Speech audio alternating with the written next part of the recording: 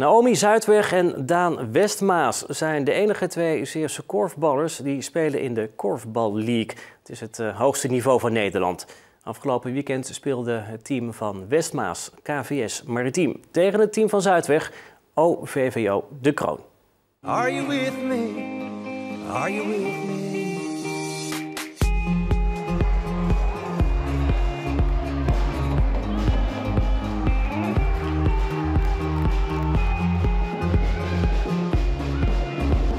Elke zaterdag is het weer een feestje om, uh, om een wedstrijd te spelen. Je ziet het volle hal, veel publiek, hele goede ambiance, leuk.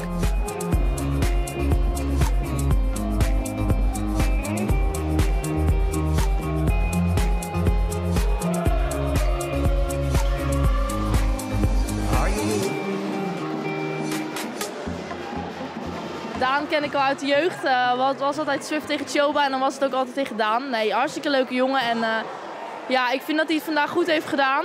Uh, ik vind het altijd een leuke speler om te zien. Sterk onder de korf, echt enorm sterk. En waardoor je ziet dat, dat zijn vakgenoot in stelling wordt gebracht om er zoveel te scoren. Dat is mede dankzij hem. Uh, ontzettend goede dame, heel erg goed ontwikkeld. Dus uh, echt respect voor haar ook. En ja, het is gewoon leuk om dan nog een Zeeuw ook op het hoogste niveau te zien. De Korfbal League is een heel ander niveau dan ze bij hun Zeeuwse clubs gewend waren. Westma speelde voor Choba en Zuidweg bij Swift.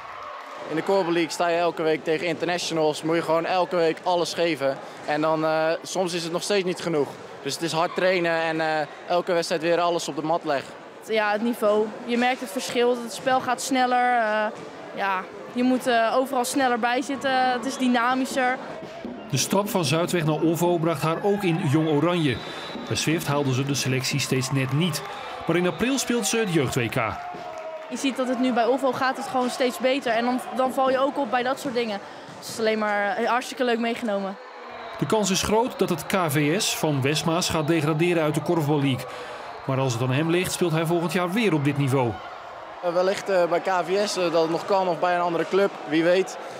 ja, ik, ik, heb er eigenlijk nog niet veel over nagedacht. ik wil me eerst volledig op dit seizoen focussen. En dan daarna is alles nog mogelijk.